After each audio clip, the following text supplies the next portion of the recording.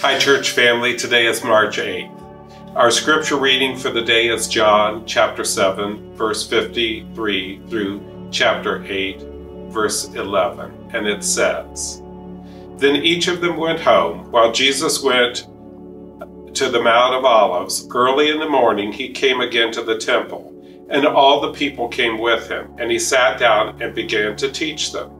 The scribes and the Pharisees brought a woman who had been caught in adultery, and making her stand before them all, they said to him, Teacher, this woman was caught in the very act of committing adultery. Now, in the law, Moses commanded us to stone such a woman. Now, what do you say? They said this to test him, so that they might have some charge to bring against him. Jesus bent down and wrote with his finger on the ground.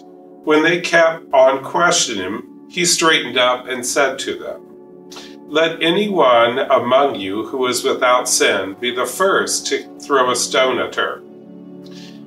And once again he bent down and wrote on the ground.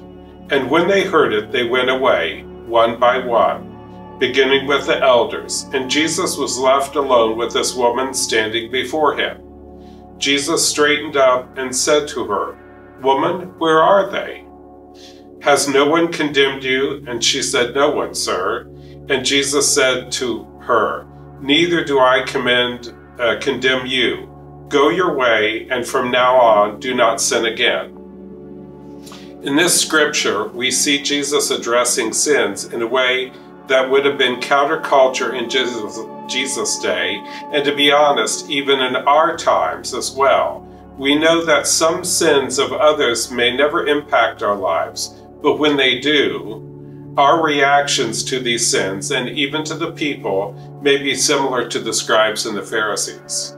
Our Lenten challenge for today is to consider this question What does Jesus' treatment of this woman teach us about dealing with the sins of others?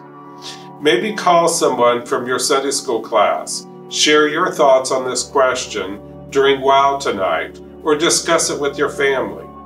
Let us pray. God, sometimes we ask the question Is it too late to begin again? Have we missed the window? Can we change? With you, that is possible.